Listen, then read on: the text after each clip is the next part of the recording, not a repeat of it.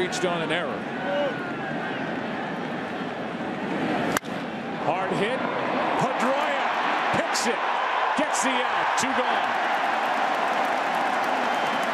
Even Dustin has to smile after that. He has every reason to smile after this play. Vintage Pedroia.